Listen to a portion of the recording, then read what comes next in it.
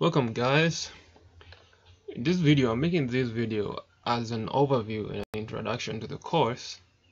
And yeah we have a course that's actually running already. And in this video i want to explain some stuff and also we are going to make some quick quick trick with jQuery with PHP not jQuery. So yeah generally what we have is this. So everything that is here is tackled in the course yeah so this just saves data automatically without having to click the publish button. And we have some customizations here. We have Gantt charts calendar auto populate uh, auto update news. We have jQuery customizations here and many other more you get. We also have uh, sending emails. So when you uh, when you join the course these are some of the stuffs you are going to get. And whenever we finish the when you finish the course you get this project right below there so that you can actually have to you can use it as a reference. Everything is is handled here. And uh, all you need to do is just copy and paste it to your project and you're good to go. So we have the calendar here. So this is just some basic calendars. Let me just show and so this calendar you can go to the file where you see it from. You work you worked with. Also we have the Gantt charts here. And in every in every area where you need something some code might be needed. You might you will get the code there on how to do it. This is how you get the code. It's just commented. You can copy paste it. Work with it. Also this is a course. You can get the from radwithwahome.com i'll link at the bottom there. And uh, let's get on with it. We need something uh, interesting right now. What we want to make right now we want to make image gallery from a folder not uploading from a using PHP. So go ahead and create a new section and you need to make this uh, MD12 so that it actually fits uh, the screen. Okay, just wait for it to reload. And what I'll be using I'll be using a file I already have here inside my root folder of the project. I'll be using this file called iconics which has all these icons. And so let's go back here and in the section we just created let's draw a custom view. Inside this custom view just delete this we don't need it.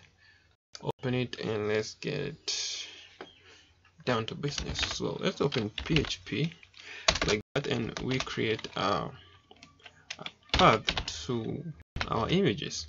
So it's just going to be a, a a string and you're going to say iconic slash then close that. Alright alright. Come on. Alright alright let me just do that.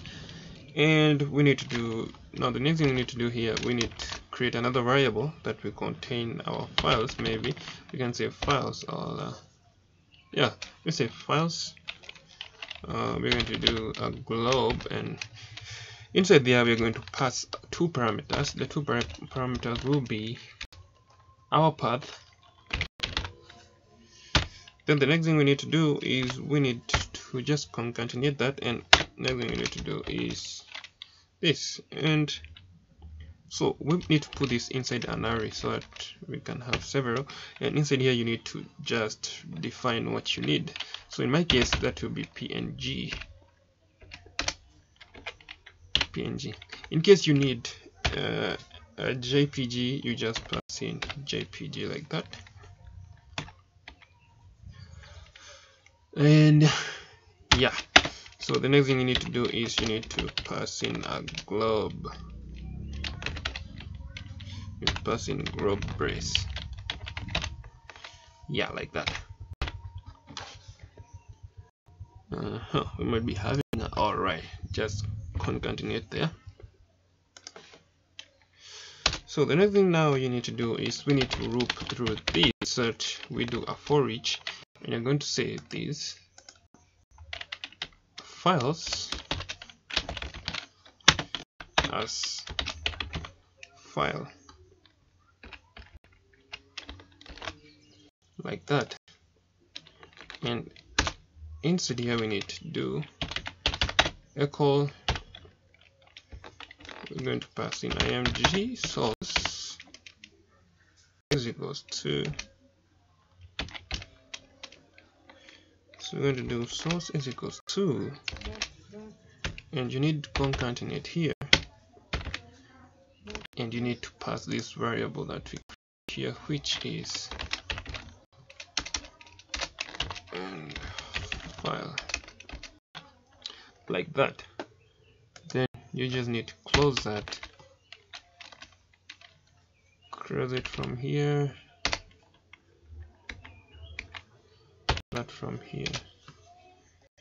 And close php so let's save that but first of all let's confirm we have no errors.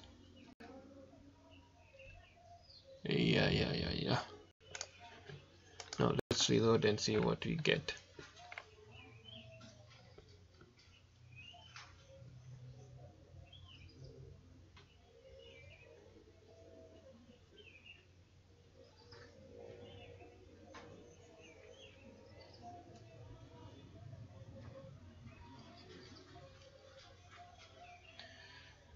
Oh, it's taking a lot of time to load, but let's wait, it's worth it.